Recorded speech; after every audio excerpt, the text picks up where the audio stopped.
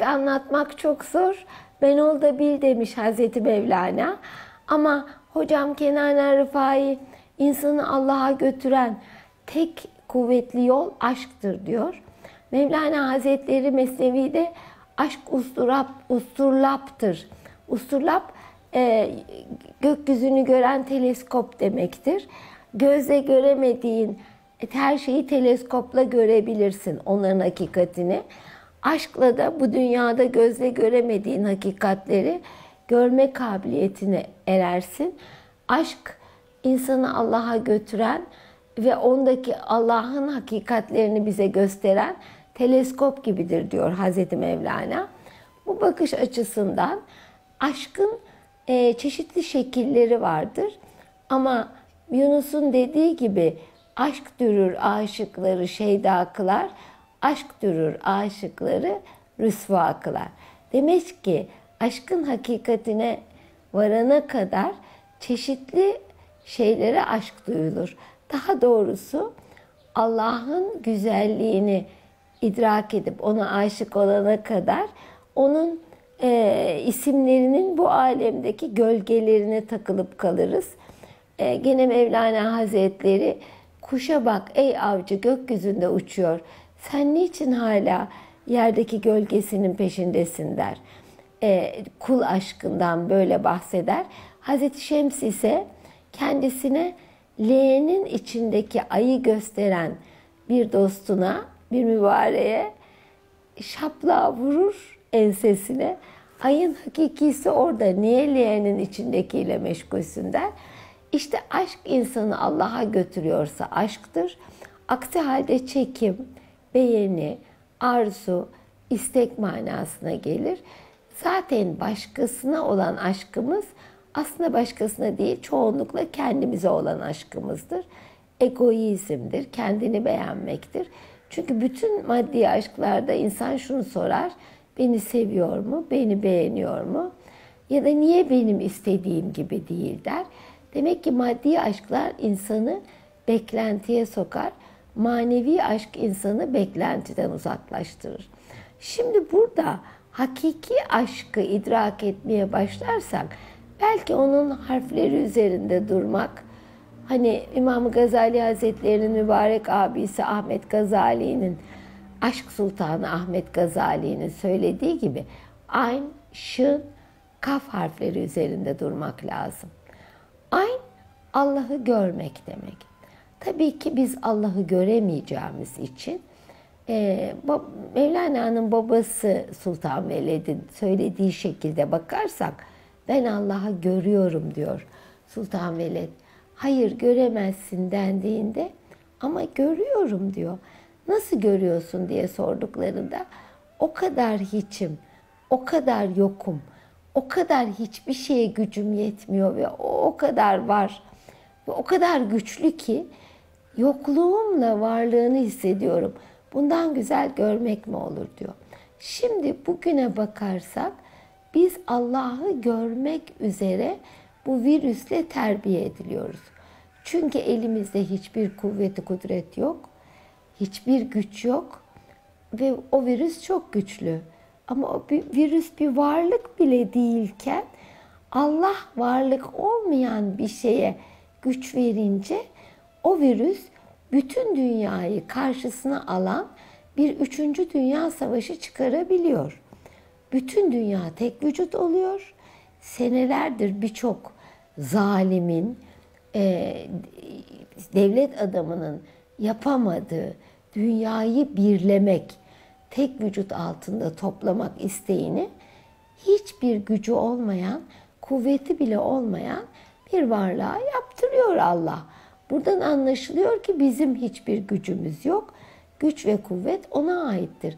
İşte bu hakikati gören, yani şu anda virüsteki gücün Allah'a ait olduğunu gören ve Allah'a sığınan kişi e, mutlaka ki Allah'ı görüyor demektir. Bu görmek makamıdır.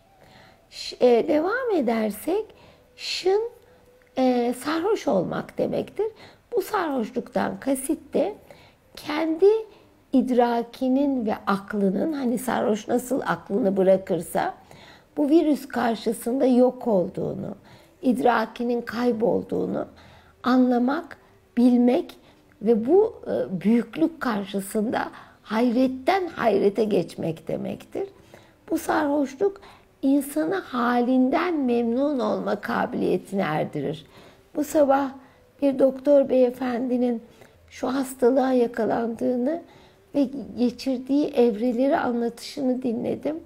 Ne kadar çaresiz olduğunu, hiçliğini, dua bile edecek gücü olmadığını, son nefesimde ne diyebilirim diye hatırlamasına bile gücü olmadığını, e, namaz kılmaya çalıştığını beceremediğini, aczini anlatıyordu.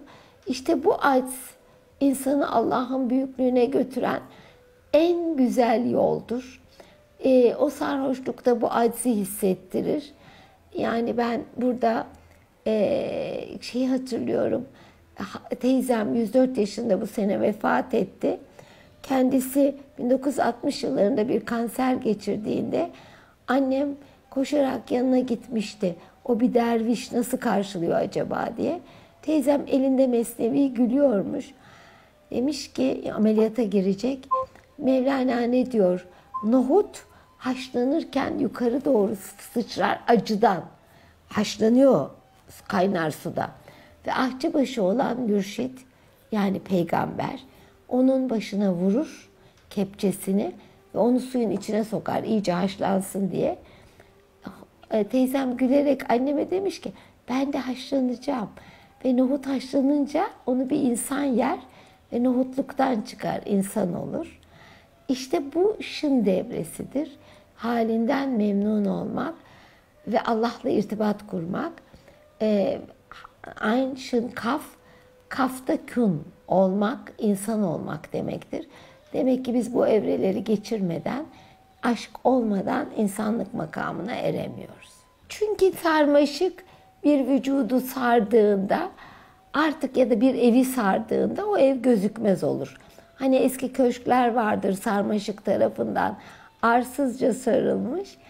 Ee, siz de bahsettiğiniz bir ayet-i kerimede e, bir sultan e, bir ülkeyi zapt ettiği zaman orada kendinden başka sultan bırakmaz buyruluyor. Yani sarmaşık gibi aşk bir varlığın nefsinin etrafını sardığında orada kendin egosuna ait e, kıskançlık, kötülük, başkası hakkında kötü düşünme, nefret gibi bütün sevmediği huyların etrafını sarar ve onda kendine ait bir varlık bırakmaz. Artık nefs gözükmez olur ve aşk öyle güzel bunu yapar ki bazen sarmaşığı sulamaya bile ihtiyaç duymadan o nefsaniyeti sarar, yok eder ve orada Allah aşkından başka hiçbir şey bırakmaz. Efendim orayı ben biraz acizane seviyorum. Çünkü Leyla da benim birazcık hani acizane ben Leyla'ya benziyorum. Kara kuru çirkin biriymiş. Mecnun, Mecnun da ona çok aşık. Ee, padişah da Harun Reşit Mecnun'u çağırıyor.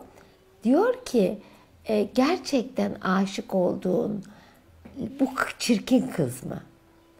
Mecnun diyor ki siz e, kadehle ilgisin, ilgilisiniz. Ben içindeki şarabın güzelliğini görüyorum. Bu sefer tatmin olmayan padişah Leyla'ya aynı soru soruyor. Gerçekten Mecnun sana mı aşık? Leyla gülüyor. Evet, Mecnun bana aşık. Ama sen bunu anlayamazsın çünkü Mecnun değilsin diyor. İşte e, Fuzuli bu hikayede şunu anlatmaya çalışır ki öylesine Mecnun ol ki e, Leyla'da Allah'ın güzelliğini gör ve ona aşık ol. Daha sonra da Leyla Mecnun'un yanına gittiğinde Mecnun'a gelip Mecnun ben geldim dediğinde Mecnun sen kimsin diyor. Leyla'yım, beklediğin Leyla'yım. Yok diyor Mecnun. Leyla benim, başka Leyla yok. Demek ki e, Allah aşkı Mecnun'u sevdiği haline getirip ortada başka bir maddi varlık gözetmeksizin Allah'a yönelten yegane güçtür. O halde aşk kelimesi kula duyulmaz, yalnız Allah'a duyulur. Allah eğer maddi aşk geçirecekse gençler bu tür aşık olmayı onlara da nasip etsin inşallah.